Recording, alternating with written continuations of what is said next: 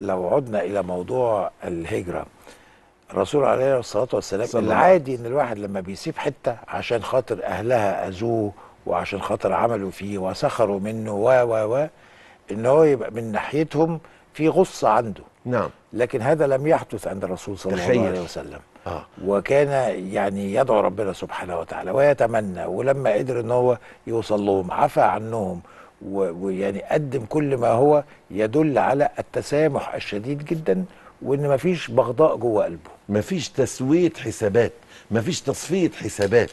النبي صلى الله عليه وسلم لم يكن يدفع السيئة بالسيئة إنما كان يدفع السيئة بالحسنة. من أهم صفات حبيبنا المصطفى صلى الله عليه وسلم. لذلك أنا عاوز أقول إنه رغم الهجرة رغم الهجرة ورغم أن أهلها أخرجوه من مكة واستلبوا ماله وحقه وبيته إلا إنه عليه الصلاة والسلام كان يكن لهم شوقا وحبا واحتراما وتقديرا وكان يدعو الله لهم.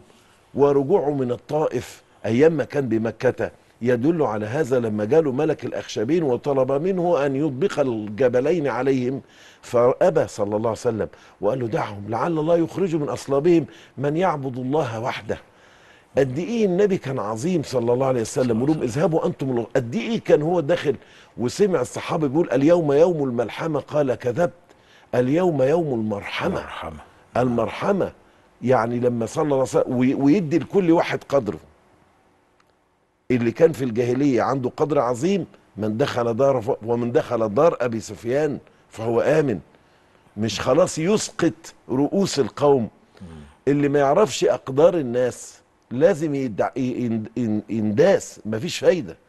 يعني نعم. طب إحنا إحنا في اللي إحنا بنقوله ده منين بقى خرجت هذه الجماعات بهذا الفكر الانتقامي بهذا الفكر الوحشي بهذا الفكر يعني كل ده والمفروض إن هم محسوبين على الإسلام ومحسوبين على دين سيدنا محمد صلى الله عليه وسلم؟ صلى الله عليه وسلم. هو ده سبب استعلاء الخطاب. يعني إيه؟ الشعور بإن أنا أعلى منك. الشعور لما أنا حضرتك بصلي وأنت ما بتصليش أنا أنا أنت هتخش جهنم وأنت مش وأنا مش عارف ربما يختم لك بخاتمة السعادة. الشعور إن أنا عندي حافظ القرآن أنت مش حافظ القرآن فأنا عندي حالة من حالات الاستعلاء.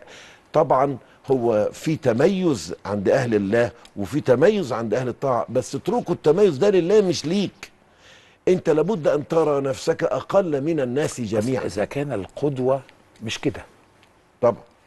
فانت جبت منين القدوة؟ وبعدين تيجي تقول لي لا ده أصل ما هو فلان عمل ما هو فلان وعلان واللي انت جايب سيرهم وكلهم يعني رضي الله عنهم وأرضاهم لكن ما حدش فيهم بنفس مقام الرسول صلى الله عليه وسلم. صلى الله عليه وسلم. فازاي تاخد القدوة من غيره؟